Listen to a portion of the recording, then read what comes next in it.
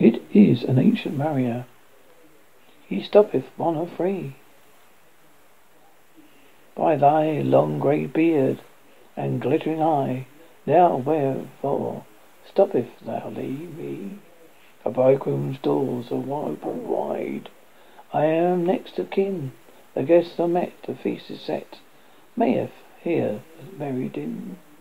He holds him with his shiny skinny hand. There was a ship, quoth he. Hold off, unhand me, grey bearded loon. If fumes his hand droppeth he, he holds him with his glittering eye. The wedding guest stood still and listens like three years child. The marrier have his will. The wedding guest sat on the stone. He cannot choose but hear. Thus spake on that ancient land the bright-eyed mariner. The ship was cheered, the harbour cleared. Merry did we troop drop below the kirk, below the hill, below the lighthouse top. The sun came up upon the left, out of sea he, and he stood bright on the light right, went down into the sea, higher and higher every day, till over the mast at noon the wedding guests were beat his breast, for he heard the loudest bassoon. The bride hath paced into the hall, red as a rose is she, nodding their heads before she goes, the merry minstrelsy. The wedding guests he beat his breast, yet he cannot choose but hear. And thus spake of the ancient man, the bright-eyed mariner. And now the storm burst came, and he was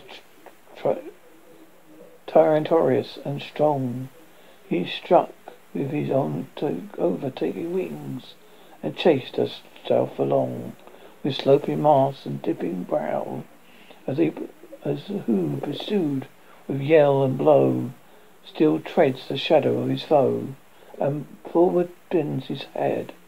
The ship drove fast, loud roared the blast, and straight southward I we fled. And now there came both mist and snow. It grew monstrous, wondrously cold as the ice mist mast high came floating by, as green as emerald. Although the drifts, the snowy cliffs, did send a dismal sheen, nor shapes of man nor beast we kin, the ice was all between between. The ice was here, the ice was there, the ice was all around. It crackled and growled, and roared and howled like wind noises in a swoon. At length it crossed an albatross, though in the fog it came, through the fog it came, as if it had been a Christian soul. We held it in God's name. It ate the food it never had ate. Around, around it flew, and ice did spit from a thunderous fit. The helmsman steered us through. A cold, good south wind sprung up behind the albatross did follow, and every day for food or play came to the Marrows. Hello, hello. In mist or cloud, on the or shroud, it perched for Vesper's line, while all the nights through the fog smoke white glimmered the white moonshine. God save thee, ancient Maria, for the flames that plague thee thus. Why look as through zone with my crossbow I shot the albatross. The sun now rose upon the light right. Out to sea came he, still hid in the mist. On the left went down in the sea. And the good south wind still blew behind, but no sweet bird did follow, nor did any bird day for food or play came to the Marrow's hello. I had done the hellish thing, and would work and woe for all the bird. I had killed the bird. I made the breeze to blow. I made the breeze to blow. A wretch, said they, said they, a blow to slay. I made the breeze to blow, nor dim, not nor red, like God's own hand. the glorious sun set up. All averred I had killed the bird that brought the fog and mist. That's right, said they, such birds to slay. They bring the fog and the mist. A fair breeze blew, a white foam flew, a furrow full of lee.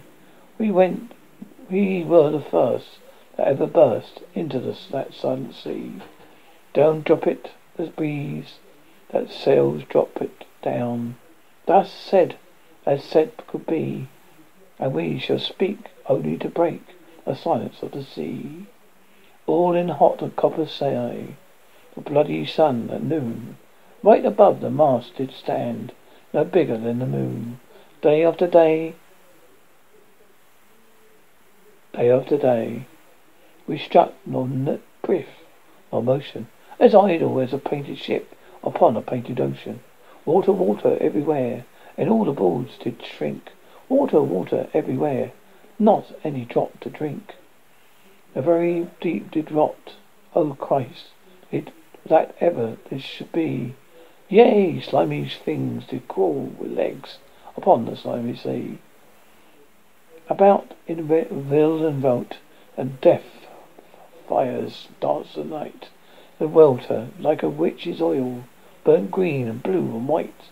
And some in dreams assured were of the spirit that played us so. Nine fathoms deep he had followed us from the land of mist and snow, and every tongue through the drought, which was withered up at the root. We could not speak no more than if we had been choked with soot. Oh, very well, a day that evil looks had I from old and young, instead of the cross of the albatross about my neck was hung. There passed a weary time, each throat was parched and glazed with each eye. A weary time, a weary time, a glazed every weary eye. When looking westward I beheld a something in the sky. At first it seemed a little speck, and then it seemed a mist. It moved and moved, it, and took at last a certain shape. I wist. A speck, a mist, I shift, a wist. Still it neared and neared. As it dodged a white sprite, it plunged and tacked and veered, with throats and slackened, with black lips baked. We did, could not laugh nor wail. Through utter drought, all dumb we stood. I bit my arm and sucked the blood, and cried, A cell, a cell.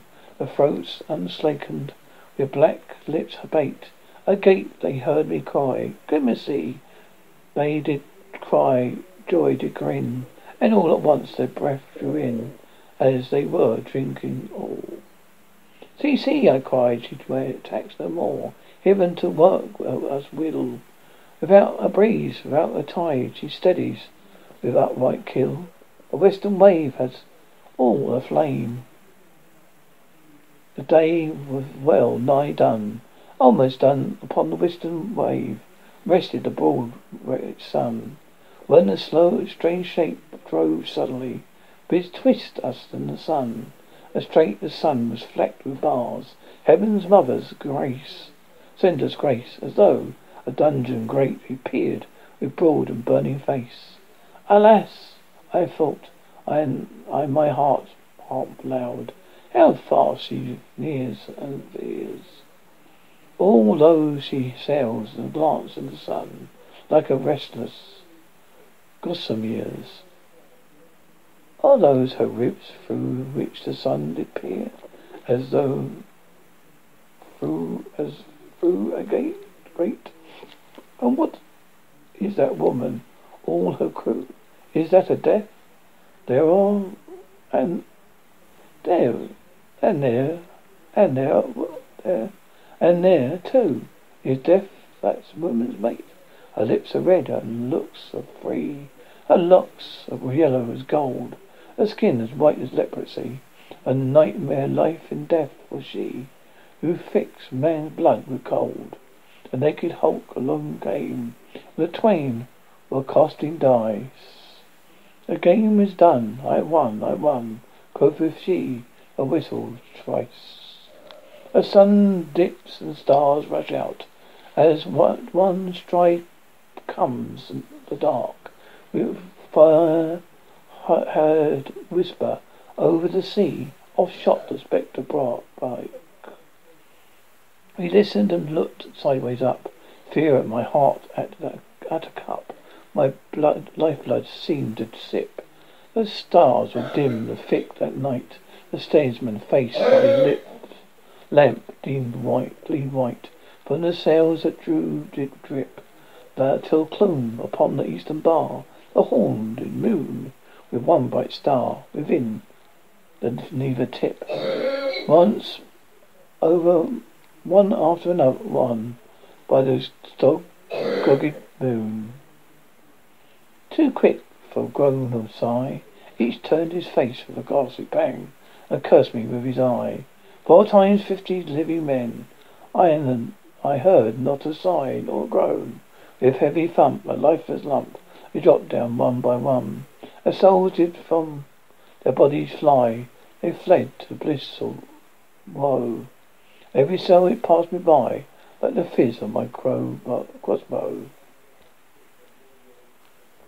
I fear thee, ancient mariner. I fear thy skinny hand. Thy shot art long and lank and brown as is the river-seed sand. I fear thee in thy glittering eye and thy skinny hands so brown. Fear not, fear not, thou wedding guest. His body adopt, not drown. Alone, alone, all, all alone, alone in the wide world sea. And never a saint took pity on my soul in agony. The many men so beautiful, and they all dead did lie. A thousand, thousand slimy things lived on, and so did I. I looked upon the rotting sea, and drew my eyes away. I looked upon the rotting deck, and where the dead men lay. I looked to heaven and tried to pray, but on either prayer and had got a wicked prayer came and made my heart as dry as dust. I closed my lids and kept them closed. The balls like pulses beat. For the sky is a sea, and sea the sky. Lay like a load on my weary eye, and the dead were on at my feet. A cold sweat melted from my limbs. Not rot nor reek did they. The look with which they looked on me had never passed away. An orphan's curse would drag to hell a spirit high from on high. But oh, how more horrible than that is the curse of a dead man's eye. Seven days, seven nights saw that curse, and yet I could not die. The moving moon went up the sky and no where did abide. Softly she was coming up, going up, a star or two beside. A beam this mocked the slowly main, like April foremost frost spread. But where the ship whose shadow lay, as troubled water burnt away, as still and awful red. Beyond the shadow of the ship, I watched the watery snakes. They moved in tracks as in white, and when they reared, the elfish light fell off in the hoary flakes. Within the shadow of the ship I watched their rich lure attire, blue, glossy green, and white velvet black. Then curled and swam their every track was a flash of golden fire. Oh, happy living things, a tongue of beauty might declare. A spring of life gushed from my heart. I blessed them unaware. Such sure my kind of fate, took pity on me. I blessed them by unaware. A self-made same moment, same self moment, I could pray, and with my neck so free, the albatross flew off and sank like lead into the sea. Oh, sleep, it is a gentle thing, beloved from pole to pole. To Mary, Queen, the praise it be given. She sent the gentle sleep from heaven that slid into my soul. The silly buckets on the deck that so long remained. I dreamt they were filled with dew, and then I awoke. It rained. My lips were wet, my throat was cold, my garments all were drank. Sure, I had drunken in my dreams, and still my body drank. I moved, I could not feel my limbs. I was so light, almost I thought that I died in sleep. It was blessed ghosts. As soon I heard a roaring wind. It did not come near, but there, with its sound it shook the sails. There were so thin and swear. The upper air burst into life. A hundred fire flags sheen. To and fro they hurried about, and to and fro in and out. Their wan stars danced between. And the coming wind did roar more loud, and the sails did sigh like sledge. The rain poured down from one black cloud, and the moon was at its edge. The thick black cloud was cleft and still. The moon was at its side. Like waters shot from some high crag, the lighting fell from never a jag, and the river steep and wide. The lying wind never reached the ship, yet now the ship moved on. Beneath the lightning and the moon, the dead men did gave a groan. They groaned, they stirred, they all uprose, nor spank nor moved their eyes. It had been strange, even in a dream, to have seen those dead men rise. Helmsmen steered, the ship moved on, yet neither breeze blew up, blew, blew up, blew, breeze up blew. The mariners all gained work, the ropes, where they weren't to do. They raised their limbs like loathsome stools. We were a ghastly crew. The body of one my brother's son stood by me, knee to knee. The body I pulled at one rope, but he said out to me, I fear thee, ancient Mariner. Be calm, thou wedding guest. That's not those souls that fled in pain, which today those their corpse came again, but a troop of spirits blessed. When it is dawned, they drop their arms and cluster round the mast. Sweet sounds rose slowly through their mind, mouths, and from their bodies passed. Around, around, each flew, each sound sweet. They darted to, the sun. Slowly the sounds came back again, now mixed, now one by one. Sometimes a dropping from the sky. I heard the skylarks sing. Sometimes all the little birds they, they are. How they seem to feel the star, sea, and air with their sweet juggling.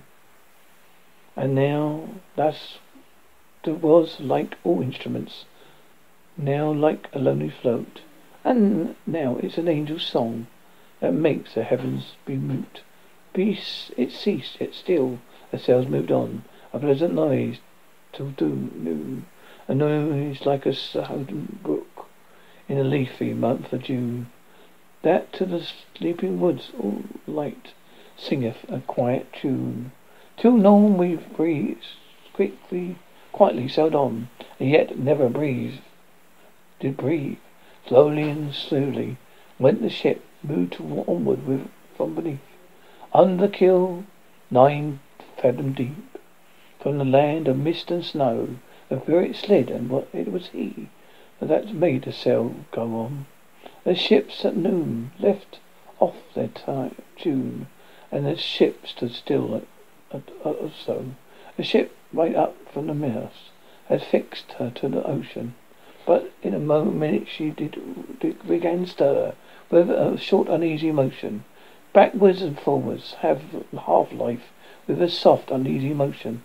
Then, like a pouring horse let go, she made a sudden bound. I hung. It flung the blood into my head, it fell down like into a swoon. How long in that same fit I lay, I have not to declare. But uh, ere my living, living life returned, I hear, heard, heard, and in my soul discerned the voices in the air. It is me, he, quoth one, is the man by whom By it is it is he, quoth one. It is the man by him who died on the cross with his cruel bow. He lay low like a harmless spirit breathed by him. In a land of mist and snow, he loved the bird and loved the man who shot him with his bow. The other was soft of voice, as soft as honey dew. Quoth he, a man hath penneth done, penneth more will do. First voice.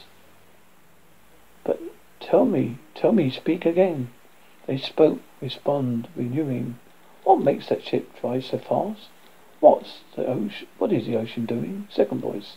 Still as a slave before his world. The ocean haveth no blast. His great blue right eye, most silently up to the moon is cast. He may know which way to go, for she guides him smooth or grim. See, brother, see how graciously she looketh down on him. First voice. But why drives on the ship so fast without a wave or wind? Second voice. The air is cut between cut before and closes from behind. Fly, brother, fly, more high, more high. Or shall we be belated? For slow and slow that ship will go when the marriage trance is abated. I woke and we were sailing on, as in a gentle river. That night, calm night, the moon was high, the dead men, men stood together. All stood together on the dark, on the deck, for a chandel dungeon flitter. All fixed on me their stormy eyes, that in the moon did glitter.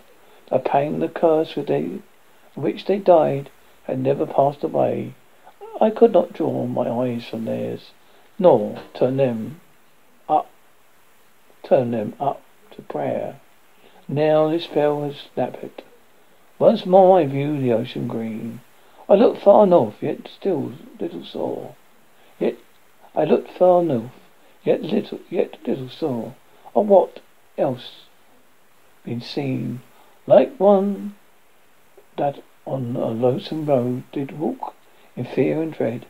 Having once turned, walk, walks on, and turns no more his head, because he knows a frightful fiend doth close behind him tread. But soon there breatheth, breath the wind on me, a sound, a motion made, his path is put not upon the sea, a ripple, a ripple, or in the shade.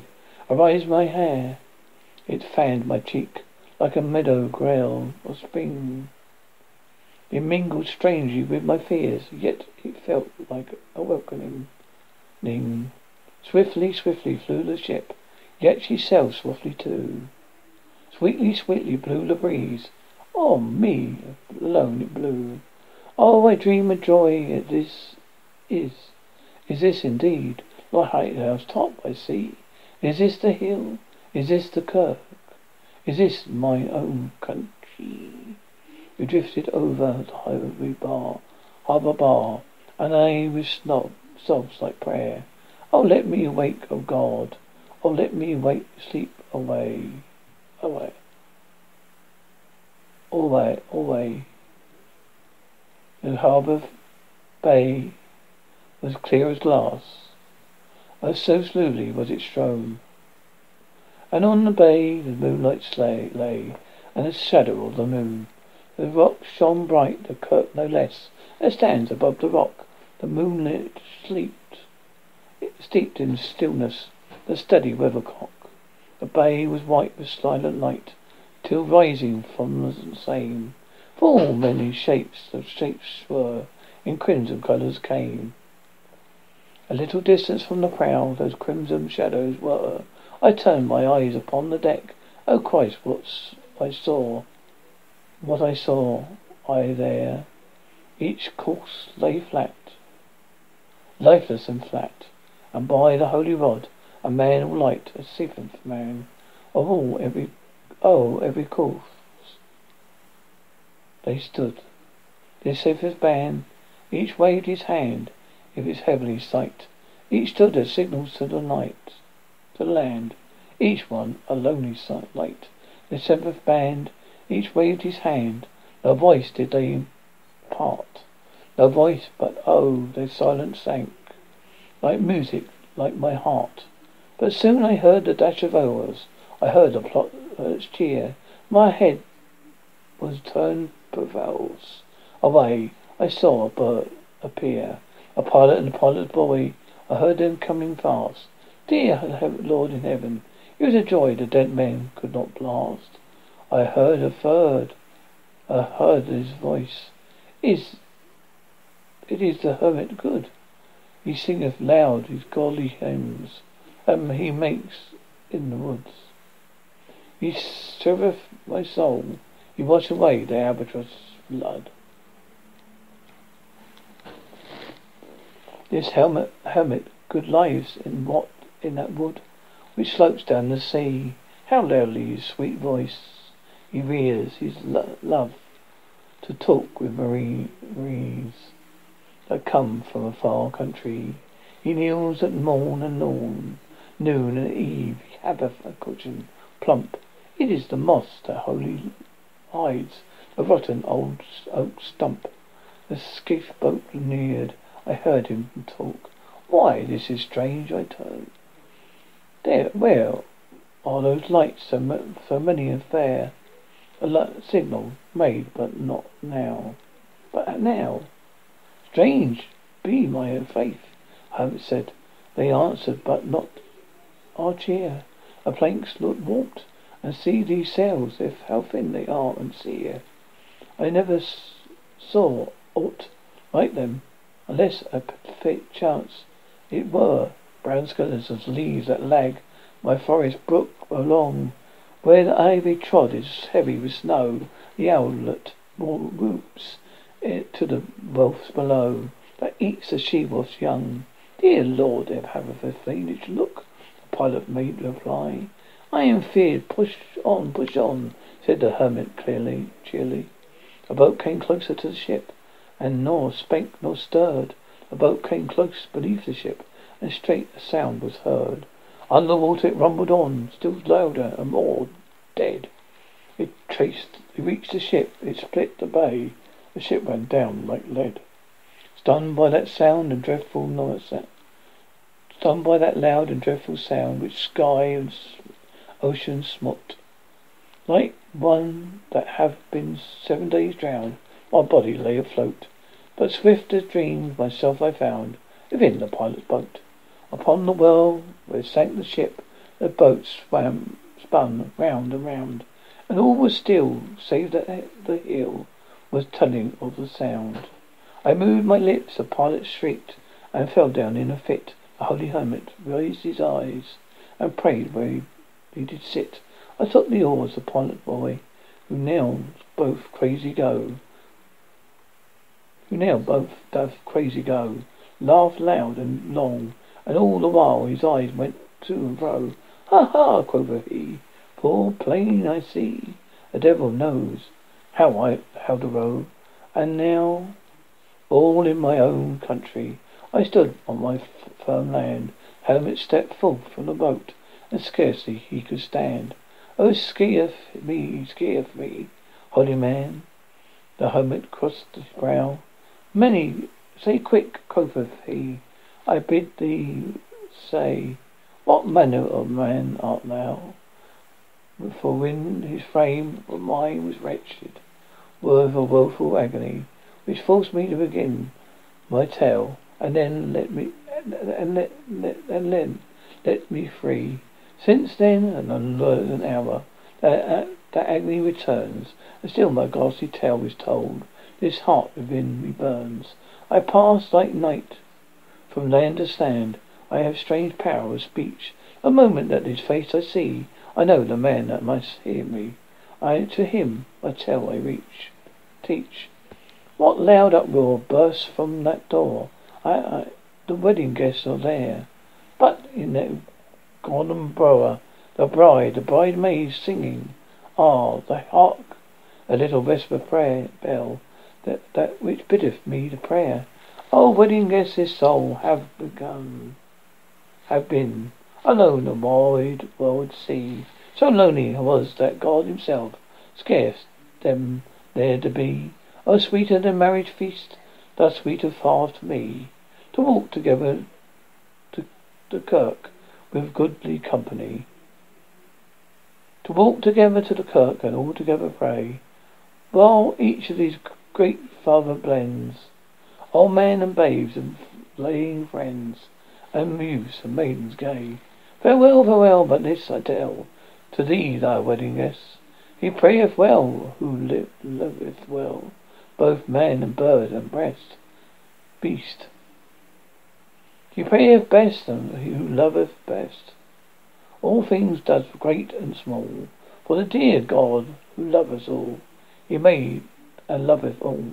The mariner whose eyes is bright, whose beard with, with each with age is hoar, is gone, and now the wedding guests turn from the bridegroom's door. Groom's door. He went like one that hath been stunned. It is our his sense of forlorn. A sad and wiser man, he rose the morrow morn.